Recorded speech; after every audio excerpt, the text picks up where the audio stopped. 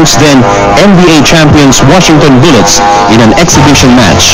The Bullets paraded with Wes Unseld and Elvin Hayes. The PBA All-Stars, coached by David Dalupan, had Ramon Fernandez, Sonny Jaworski, and Atoy Co. The Bullets, with their towering heights, out-rebounded the PBA selection and led all throughout the game. Cheers for the years! The 30th PBA anniversary!